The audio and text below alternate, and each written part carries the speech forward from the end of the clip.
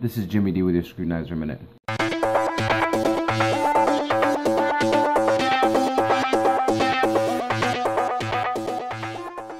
One of the important security features of Scrutinizer is Flow Analytics. Now, the first question you're going to ask yourself is, what is Flow Analytics?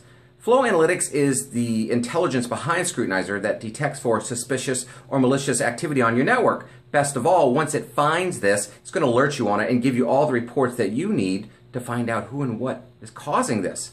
Uh, it's pretty easy to set up. All you have to do is turn it on. Let's check it out. Now that you've installed Scrutinizer, it's time to configure and start your Flow Analytics algorithms. To do that, click on Admin, Settings, Flow Analytics Configuration. Here you'll see all of the Flow Analytics algorithms that are associated with your install.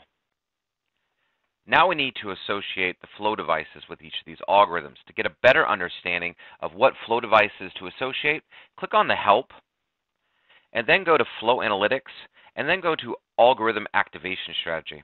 This will let you know which devices we're looking for when these algorithms are implemented. The next step is to configure an algorithm. So what you do is you find the algorithm that you're looking for, click on it, and up will come the configuration screen. Over here on the right-hand side, you'll see the excluded devices, the devices that we currently are not scanning data from. And over here, of course, is the included devices. Just drag them over and then click Save. Once you've done that, click Edit Policy.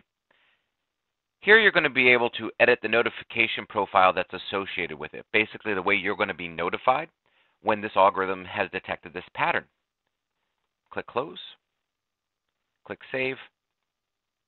And now Scrutinizer is scanning for those traffic patterns. Now, once it's found one of those traffic patterns, it's going to alert you. It's going to send you a page, an email, whatever you have in that notification profile. Plus, it's going to post on the Alarms tab.